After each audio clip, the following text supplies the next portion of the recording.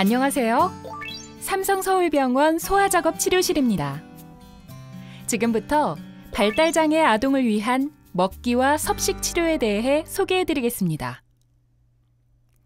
뇌성마비, 다양한 장애 진단을 받은 아동, 발달 지연을 포함한 발달장애 아동 중 먹기에 어려움을 가진 경우가 있습니다. 섭식 치료는 먹기에 어려움을 보이는 발달장애 아동들이 잘 먹고 소화시켜 성장할 수 있도록 도와주는 치료입니다. 먹기 및 섭식 치료 대상자를 크게 세 가지로 나누어 보면 성장장애, 구강기능 저하, 구강 감각이 예민한 아동들입니다. 첫째, 성장장애는 한국 표준 성장 발달표 기준으로 키가 3% 미만인 경우를 말하는데 먹기를 거부하는 아동, 삼키지 않고 물고 있는 아동, 편식이 심한 아동이 해당됩니다. 둘째, 구강 기능이 저하된 경우, 빨기, 삼키기, 숨쉬기, 협응이 어려운 아동, 씹기 및 삼키기 어려운 아동, 자주 살에 들리는 아동, 구역질 반사에 문제가 있는 아동, 혀나 턱의 움직임에 제한이 있는 아동, 입 다물기가 어려워 평소 입을 계속 벌리고 있는 아동, 소리내고 발음하는 것이 어려운 아동이 이에 해당합니다. 셋째, 구강 감각이 예민한 경우, 음식의 맛과 질감, 온도에 매우 예민한 아동, 새로운 음식을 먹지 않고 제한된 몇 가지 음식만 먹으려는 아동, 컵을 이용해 마시는 것을 싫어하는 아동, 양치질을 싫어하는 아동들의 경우에도 섭식 치료가 필요할 수 있습니다. 지금부터 효과적인 영양 섭취를 위한 먹기 및 섭식 치료에 대해 안내해 드리겠습니다. 첫째, 준비 단계로 편안하게 먹을 수 있는 분위기와 환경 조성, 바른 먹기 자세를 취할 수 있는 방법을 소개해 드리겠습니다. 둘째, 치료 단계로 얼굴과 구강 마사지 방법, 빨기와 삼키고 씹는 기능을 향상시켜주기 위한 치료를 소개해 드리겠습니다. 셋째, 특수 치료인 전기 자극 치료와 구강 촉각 테크닉에 대해 설명드리고 마지막으로 발달장애 아동의 보호자분들께서 자주 하시는 질문에 대한 답변을 드리도록 하겠습니다. 가장 먼저 먹고 마시는 즐거움을 배울 기회를 제공할 수 있도록 잘 먹을 수 있는 분위기와 환경을 조성하는 것이 중요합니다. 그러기 위해 아동에게 배고픈지, 먹고 싶은지 의사를 물어보고, 먹기 전에 음식을 눈으로 보고 냄새를 맡아보며 환경과 음식을 충분히 탐색하도록 기회를 제공하여 아동이 준비할 수 있는 시간을 줍니다. 그리고 아동이 스스로 식사에 참여하도록 격려하고 기회를 제공하는 것이 중요합니다. 분유를 먹는 아동은 몸통과 목에 바르지 않은 자세에서는 쉽게 살해에 걸리기 때문에 그림과 같이 먹기 전에 목과 몸을 지지한 안정된 굴곡 자세를 취해줍니다. 또한 목이나 몸통이 과도하게 앞으로 구부러지거나 뒤로 젖혀진 잘못된 자세는 피하도록 합니다. 의자에 앉을 수 있는 아동의 경우 먼저 그림과 같이 바른 먹기 자세를 취해줍니다. 등과 뒤통수가 일직선이 되도록 하고 턱을 약간 당겨 약 15도 정도 기울입니다. 등은 의자에 밀착하여 기대고 엉덩이 역시 의자에 안정적으로 밀착시킵니다. 어깨가 안정되도록 아래팔을 의자의 팔 지지대에 살짝 내려놓고 무릎은 90도 굽힌 상태에서 발목을 90도 굽혀 바닥에 발을 붙입니다. 그럼 이제부터 치료 방법에 대해 안내해 드리겠습니다. 얼굴 및 입 주변부의 감각적인 예민함을 줄여주고 먹기 위한 준비를 위해 자극을 줍니다. 가장 먼저 손뭉치. 부드러운 천이나 손가락으로 입 주변을 깊고 편평하게 꾹꾹 눌러줍니다. 두 번째로 얼굴 바깥쪽과 안쪽을 손가락으로 화살표 방향처럼 이마에서 볼까지 원을 그리듯 깊고 편평하게 꾹꾹 누르고 코 옆라인을 따라 화살표 방향으로 위에서 아래로 눌러주며 내려옵니다. 입술 아래쪽은 아래턱 앞쪽에서 아랫입술 방향으로 깊고 편평하게 눌러서 올려줍니다.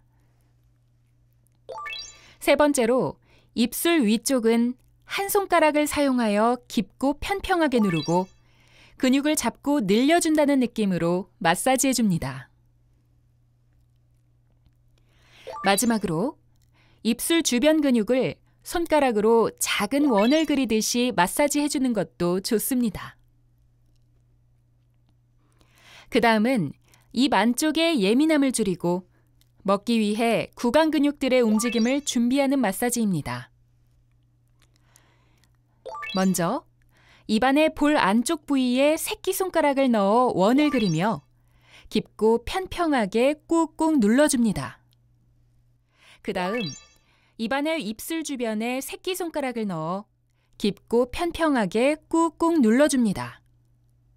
아래쪽과 위쪽 모두 마사지합니다. 마지막으로 아래쪽 앞니 잇몸부터 시작하여 위쪽을 지나 원을 그리듯이 잇몸을 깊고 편평하게 1초씩 쑥쑥 눌러줍니다. 이제부터는 음식 섭취를 위한 치료에 대해 안내해 드리겠습니다. 빨기 기능 향상과 함께 삼키기와 호흡하기가 잘 될 수 있도록 돕는 치료입니다.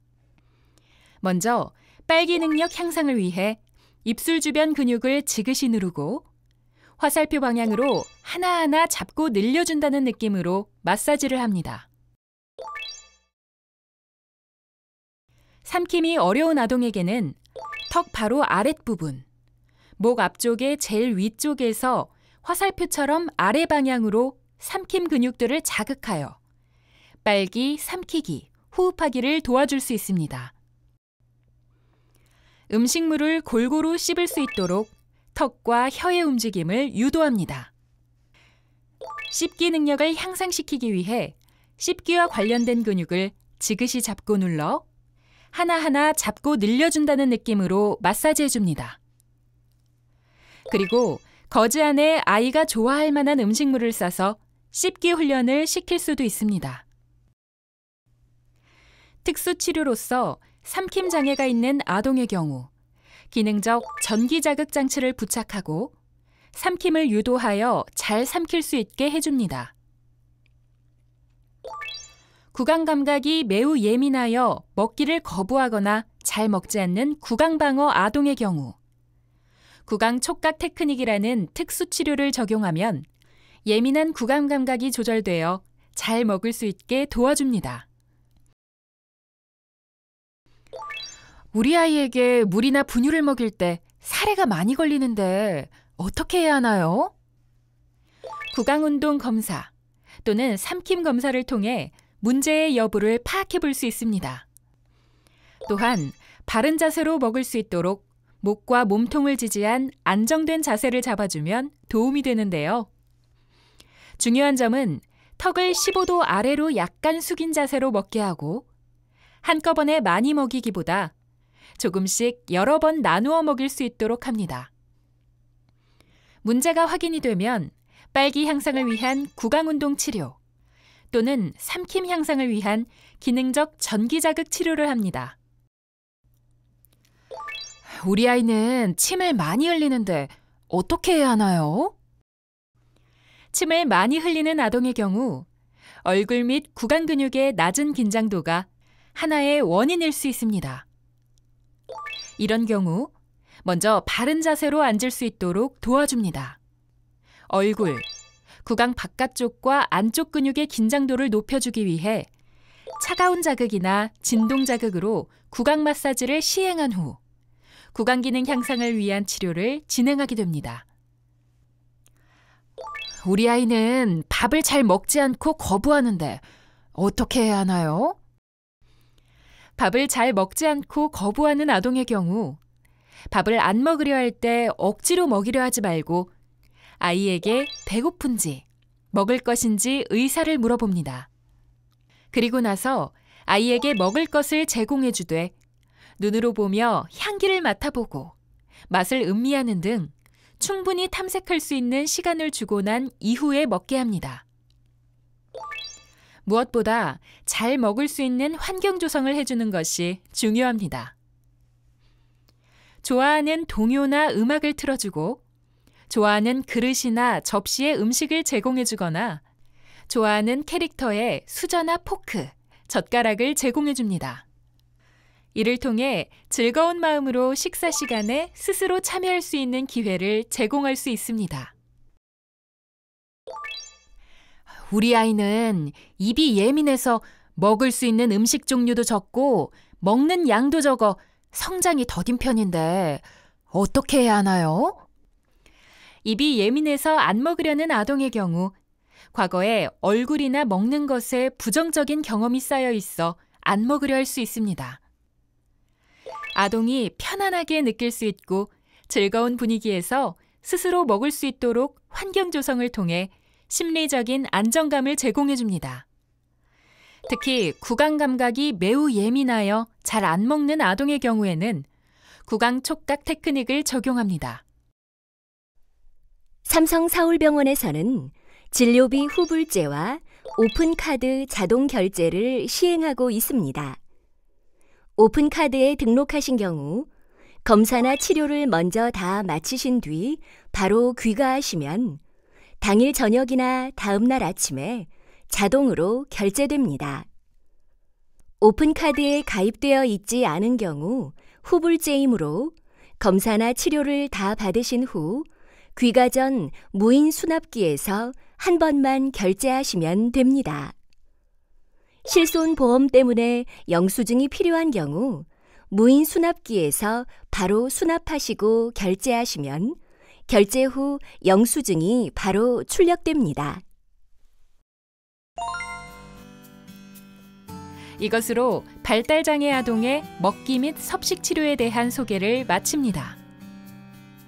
저희 삼성서울병원의 재활의학과 소아작업치료실은 발달장애 아동의 먹기와 관련하여 해결하기 힘든 어려움을 정성껏 도와드리겠습니다. 우리 아이들의 빠른 쾌유를 기원합니다. 감사합니다.